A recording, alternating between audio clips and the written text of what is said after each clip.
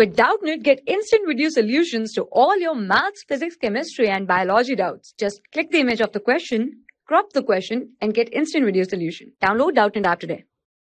The given question says that write first 5 multiples of 6. So we are supposed to write down first 5 multiples of 6.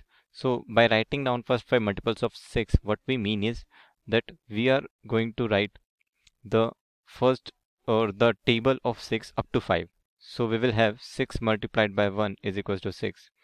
6 multiplied by 2 is equals to 12. 6 multiplied by 3 is equals to 18. 6 multiplied by 4 is equals to 24. 6 multiplied by 5 is equals to 30. So the 5, the first 5 multiples of 6 are 6, 12, 18, 24, and 30.